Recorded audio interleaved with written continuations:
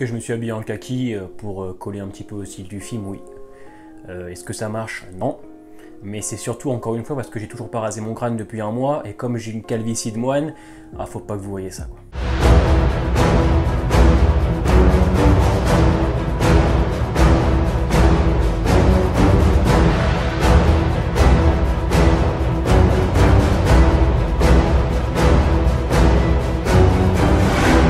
Bonjour à tous et bienvenue pour la nouvelle critique donc de Tyler Rake, nouveau film de Netflix produit et écrit par les frères Rousseau.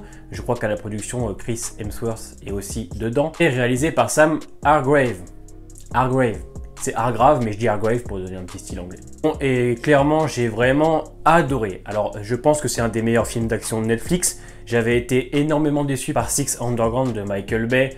Euh, je l'avais trouvé vraiment euh, très moyen. Mais là, Tyler Rake, malgré qu'il ait quand même une histoire assez simple, ça tient la route. Tyler Rake, c'est l'histoire d'un mercenaire nommé Tyler, qui après avoir accepté une mission d'extraction qui consiste à sauver le fils d'un trafiquant de drogue, se révèle être extrêmement périlleuse et dangereuse. Alors comme je disais, même si le scénario il tient vraiment sur deux lignes, eh ben je trouve plutôt bien amené, tient tout au long du récit. C'est pas incroyable non plus, mais ça tient la route. Alors l'écriture des personnages n'est pas poussée euh, à la perfection, c'est surtout Ovi et Tyler qui vont être développés, hein. le reste c'est vraiment des personnages histoire de créer un petit peu de vie autour, mais ça s'arrête là. Donc j'ai trouvé l'écriture de nos deux protagonistes très intéressant, surtout au niveau de Tyler. Alors moi j'aime beaucoup les héros un peu dépressifs, alors allez savoir pourquoi, j'en ai aucune idée. Les styles un peu, vous savez, un peu à la Mad Max, ou un petit peu à la Max Payne pour ceux qui connaissent. Voilà, j'aime bien ce genre de héros un peu torturé, et c'est ce qu'est Tyler. On le comprend au début du film, quand il prend des médicaments avec de l'alcool, ouais, ça fait un peu cliché, mais c'est pour nous faire comprendre voilà, que le personnage n'est pas mentalement au top. J'ai bien aimé aussi qu'on développe son passé à un moment, quand il a une discussion avec justement Ovi, le deuxième personnage principal de l'histoire, donc le fils du trafiquant de drogue, qui aussi est un petit peu développé dans le film. On comprend voilà, que son père aussi le prend pour un objet, que ça recommence avec le fait, comme il dit, euh, un colis à livrer euh, pour Tyler. Mais ce qui est intéressant, c'est un petit peu la relation père-fils qu'ils vont avoir, parce qu'on apprend justement dans le film que Tyler a perdu son fils quand il avait 6 ans, et euh, Ovi, lui, bah, son père, c'est son père, mais il ne le connaît pas vraiment, puisque ça reste un baron de la drogue, et comme il l'a dit, pour lui, son fils, c'est juste un objet. Donc j'ai bien aimé cette relation qu'ils ont tous les deux. C'est un peu une relation un peu père-fils. Ça vite effectivement, mais je trouve que ça colle plutôt bien. Et moi j'ai bien aimé la relation qu'ils ont entre eux. Je trouve qu'il y a une bonne alchimie entre les deux. Alors c'est juste ces deux personnages qui sont développés, hein, parce que le reste c'est quand même assez faible. Et le début du film, déjà tu comprends que scénaristiquement parlant, ça allait être assez simple. Mais comme je dis, c'est pas justement un mauvais point. Une simple histoire peut faire un très bon film. Il y a des films avec des histoires très complexes et mauvais. Là, c'était des petits films d'action comme ça, avec une histoire simple, mais avec tout ce qu'il y a autour, et bah ça le rend encore meilleur. Mais bon, avec une histoire assez simple et deux protagonistes plutôt intéressants, c'est pas ça qui va faire de Tyler Rake un bon film. Ça va être la technique utilisée.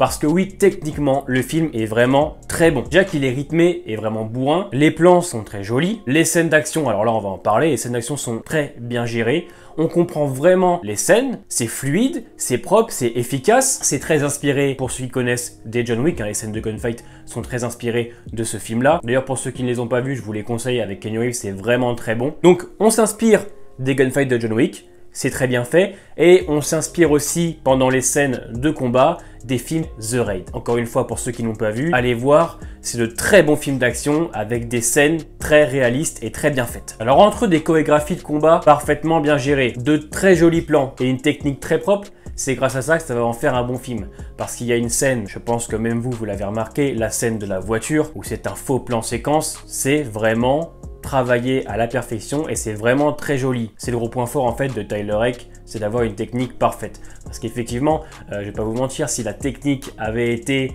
euh, moyenne, je pense que le film aurait pas eu le même rendu. Car voilà, comme je disais, son histoire est assez simple, mais c'est voilà la technique qui va le rendre meilleur. Et s'il n'y avait pas la technique, ah, je vous cache pas que je pense qu'il aurait été très différent. Le réalisateur reprend tous les codes des films d'action déjà vus, il leur transforme un peu à sa sauce, mais c'est vraiment bien fait. Alors oui, on s'inspire, mais c'est pas très dérangeant parce que le film est bon. Effectivement, si le film avait été mauvais et mal réalisé, euh, là, je peux comprendre un petit peu. Là, le film est vraiment très bien. Donc, euh, au contraire, inspirez-vous, on s'inspire bien. Donc là, il n'y a pas de souci. J'aime beaucoup aussi la, couleur de la photo, hein, ces couleurs un peu chaudes, jaune, orangé. J'ai toujours aimé un petit peu ce style-là, moi.